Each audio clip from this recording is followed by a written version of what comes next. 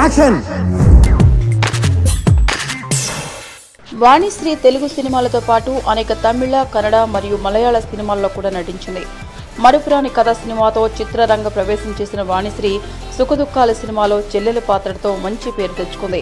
కథా నాయికగా అనేక సినిమాల్లో నటించి పంతొమ్మిది వందల డెబ్బైవ దశకమంతా తెలుగు చిత్ర రంగంలో అగ్రతారగా నిలిచింది. ఈ దశాబ్దపు చివరిలో శ్రీదేవి మరియు జయప్రదలు తెరపై వచ్చే వరకు వాణిశ్రీని అగ్రతార.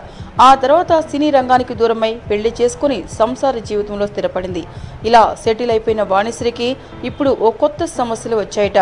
కథానాయికగా ఫేమ్ సంపాదించాక దాంతోపాటే డబ్బు కూడా గుట్టలుగా వచ్చేటప్పుడు ఆ ఆస్తులపై బంధువులు కళ్ళు పడడం కూడా సహజమే. అలనాటి అందాల నటి వాణిశ్రీ సైతం ఈ తరహా బాధితురాలేనట.